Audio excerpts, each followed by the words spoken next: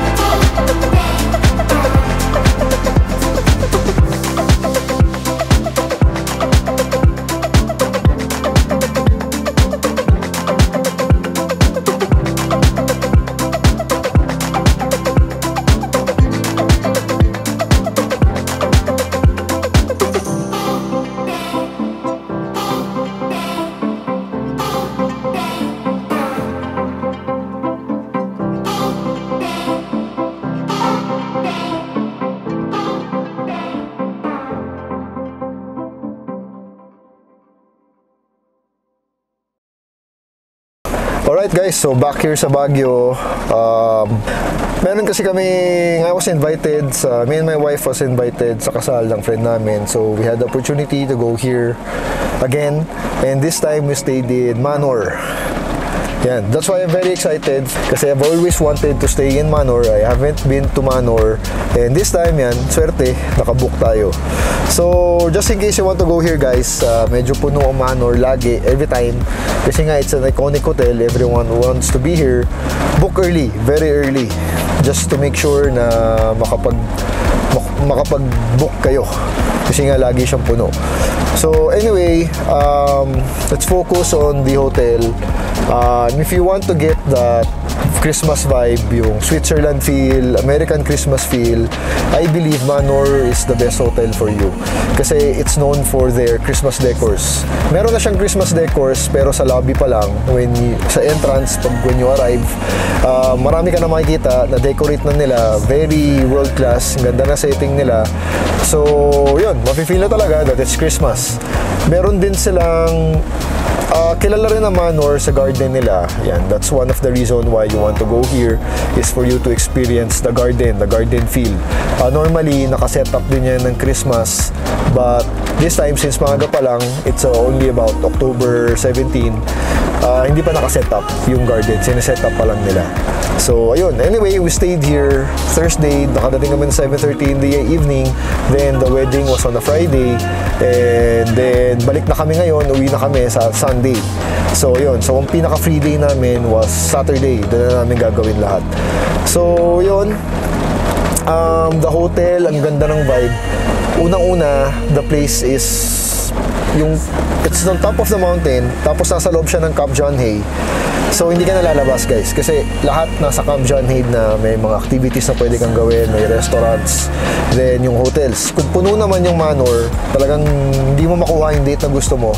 Meron naman yung forest lodge katabi lang tapos may access din naman siya papasok sa garden ng manor so pwede rin yun. Uh, if not meron din dalawang hotels pa inside the compound yung Camp John Hay so check nyo. Baka doon makabook kayo. Kasi maganda sa Camp John Hay, hindi ka naaalis na labas na city. Alam niyo naman, pag lumabas ka ng city, traffic, hirap ng parking, yan. So everything you can do here sa Camp John Hay, di ba? Later, discuss na natin yun. So yung hotel, um, maraming wood setting, cabin feel, tapos napakabango guys talaga yung pine trees dito, I cannot explain. Sobrang gustong gusto ko yung amoy. Eh, parang wala kang sa Pilipinas, it's like you're on a different country. So, yun, bonus, sobrang bonus yun guys. Uh, for the room itself, we got the single room, but the thing is, malaki yung cut ng mga rooms dito, parang 80 to 90 square meters ata. So, it's like two rooms, may living room, tapos may bedroom, yun. Yung sa amin, single bed lang. Pero may sofa sa sa bedroom, tapos may sofa rin sa living room, may dining table pa, may microwave. Kompleto, kompleto siya. So, pampamilya talaga. Ah, tapos, syempre, lahat ng rooms ata, I believe may balcony which gives you the garden view and the restaurant view. So, ang ganda talaga ng pagka, yung architecture ng Manor, I really like it. It's very Swedish, mixed American, pero more on American rin syempre kasi nga Camp John ito, base ng mga Amerikano. So, it's like you're in America when you're going here. That's why gustong gusto kong pumunta rito. I want to get that feel eh. Yung mag-Christmas ka sa Amerika, 'di ba? Yan, ito mabibigay ng place. So, plus bonus guys, pwede pala aso. Ngayon ko lang nalaman. Had I known, dinala ko sana si Clark. Meron silang accommodation for dogs sa basement ata. The price for that would be 800 peso per night. So, mura lang, di ba? So, any size of the dog, pwede raw. So, dalhin mo lang. Sila na bahala sa baba. Then, kasi as I've said, pag sa Camp John Hay ka, hindi ka nalalabas. Andun ka na lang sa compound. So, marami siyang parks uh, beside the hotel. So, yun, pwede mong laruin yung aso ron. Anyway, that's the room. Maganda yung room. Kompleto. Uh, very comfortable, very family friendly. Tapos, yung CR, ang ganda, ang laki. Tapos, hindi nababasa yung floor. Tapos, yung heater, pinaka-importante, yung shower heater. Uh, malakas yung water eh, pressure and yung mainit yung tubig. Mabilis uminit, hindi matagal unlike other hotels. Which is very important since nasa Baguio ka, malamig. So, yun. Very comfortable. Okay yung room, panalo. Price we paid for that uh, was about 9,000 to 12,000 per night. Yan, yan yung rates nila. Not that expensive, di ba? But the thing is, mahirap nga mag-book since lagi silang puno.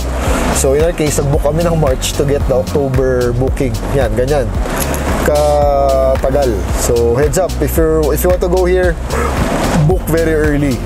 Yan. So that's the hotel. Tapos what we did uh, for the activities, syempre horseback riding, lalo na kung may kid kayo, is a must.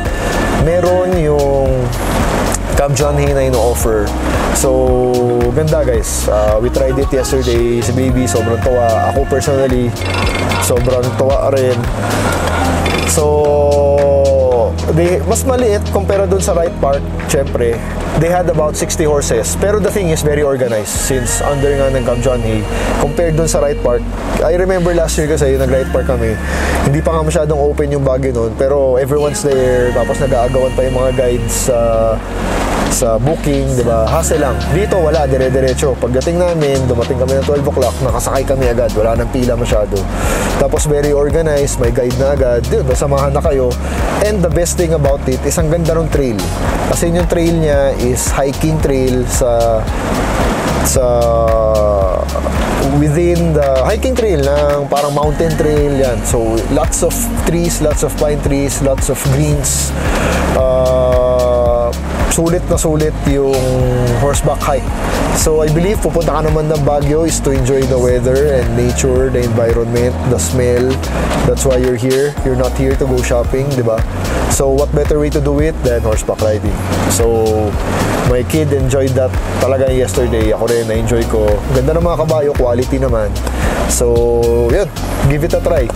Then, after nun, uh, merong mini golf mini golf. Doon lang din, magkakatabi lang sila. Actually, ang maganda ron, sa tabi ng Manor, doon ay lahat ng activity center, the paintball, the go-kart, the mini golf, the horseback riding, like 500 meters away. So kami, naglakad na lang kami. Dahil ayoko na nga mag-drive. I want to enjoy the nature, I want to enjoy the trees. So we just walk. Medyo mahirap, pero at least, yun naman talaga yung pinupunta mo sa Baguio. You want to enjoy the environment.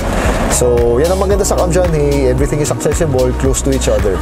So, nilakad na lang namin yun. Um, after the horseback riding, we did the mini golf. Uh, last time kasi I played that, bata pa ako 10, dito rin sa John Hay. So andun pa, buhay pa siya. Iconic place na rin yun.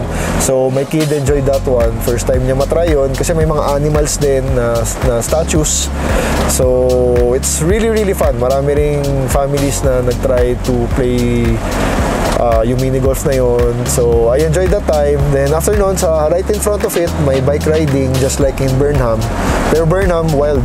Dami tao, agawan, hirap ng parking. Dito, wala. Talagang ang daming bike, ang ganda nung pwesto nila, malawak. So, my kid wanted to try that also. So, yun, sinubukan na rin namin. Uh, yun, doon pa lang guys, ubos na oras nyo.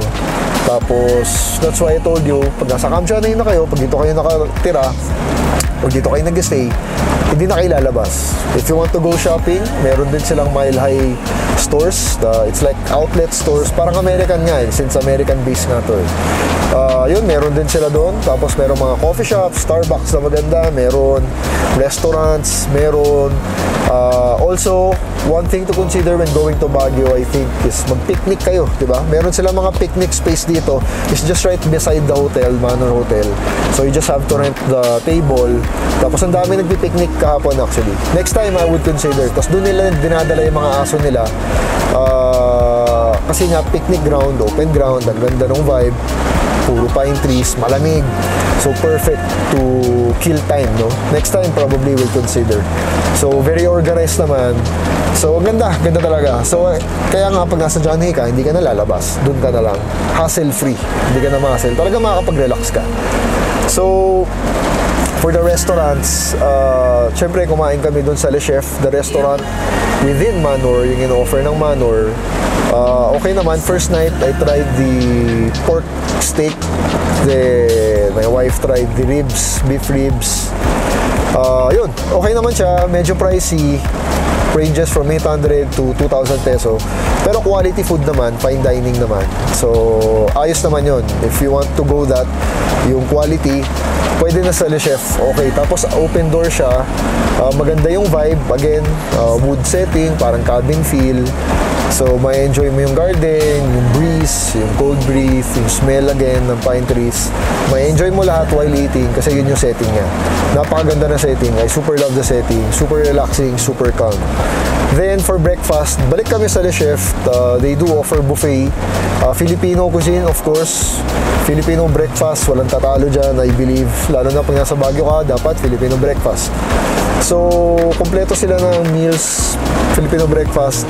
In my case, I had the longganisa, the beef tapa, the corned beef, egg, and bacon. Yan. Lahat okay except for the corned beef, lalo na yung beef tapa. You should try beef tapa nila. Dahil super ganda ng quality na ginamit nila na beef.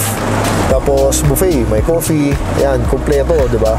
So, lahat ng gusto mo, I think makukuha mo dun sa buffet nila, Le Chef. It's, it's a, you must try it. Yan. Um, tapos, for merienda, meron ding sikat na restaurant dito sa Camp John Hay. Uh, Chocolate de Baterol. Yun yata yung name nun, if I'm not mistaken. Yun, sikat din yun, iconic. Known for their chocolate drinks kasi nga malamig. So, sikat na sa Baguio yung mga cacao drinks nila, chocolate. So, Chocolate de Baterol is also famous. Medyo limited lang ang parking. Pero actually, pwede lakarin eh, within the hotel eh. About 500 meters also or more. Pero nagkotse na kami uh, yun, medyo limited na parking tapos walang reservation, everyone's there so medyo may waiting time. In our case, we waited for 10 to 15 minutes. Uh, pero guys, sulit siya. Masarap yung food, Filipino cuisine. We had the kare-kare lempo. Lempo kare-kare. Then, bibingka. Then, of course, chocolate drinks. And yung dinuguan, guys. Yung dinuguan, sobrang sarap. Uh, mura lang. 400 to 500 peso yung meals nila. So, pwede kayo kumain doon. Pwede kayong breakfast doon. Pwede kayo mag-dinner doon. Merienda. Perfect place. Outdoor setting. Tapos, yun, outdoor setting nga. Uh, again, it's within Camp Johnny. So, may enjoy mo ulit yung pinaka-vibe na binibigay sa Camp Johnny, which is yung yung pine trees, no? Yung talaga, for me, yung talaga yung offer niya eh. Um, hindi lang maganda masyado yung presentation ng chocolate nila kasi nakadiretso na sa mug. They do cook the chocolate dun sa kitchen nila. They do it by the volume na. Unlike sa iba, like yung pamana, mayroon din isa sa Baguio pamana, last year doon kami. Mas maganda lang yung presentation nun. Uh, kasi may mismong chocolate bar, tapos nasa lalagyanan ng chocolate mismo. Ito wala, diretso sa mug. But overall, okay na experience. Uh, the hype is real. Talagang, bakit siya sikat? Naintindihan ko bakit. So, if you're in Kamjani, visit nyo nun. Baka gusto nyo to try the chocolate drink. Cafe Baterol, okay. Then for dinner, meron din isang sikat na place, Craft 1945, Spanish cuisine. So, bahay siya.